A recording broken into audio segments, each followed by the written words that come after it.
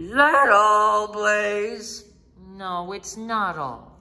You always have to take care of yourself, as well as eat healthy and also do, um, do, do what? Exercises? Cause I'm hurt after exercises. No. Oh, I remember. Get sleep. Get eight to 10 hours of sleep. I thought it was just eight. It, well, I recommend eight to 10 hours so your body's well rested and ready for the day. I hope this helps you so much. And remember, you only got one body. Take care of it and use it wisely.